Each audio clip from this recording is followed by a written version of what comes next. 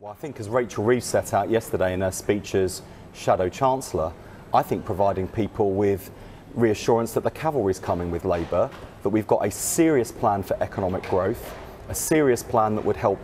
uh, ease the cost of living crisis and help the pressure on people's pockets, provide that stability for businesses looking to make investment decisions because you know, to the heart of your question and, and that backdrop drop you described,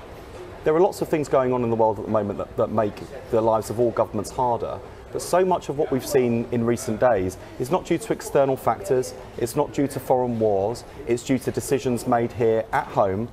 by Downing Street. And just when you thought things couldn't get worse from the Conservatives after 12 years, we have a reckless and irresponsible Prime Minister and Chancellor who are now a real threat to family finances. And so the risk now for the country isn't change with Labour, it's continuity with the Conservatives.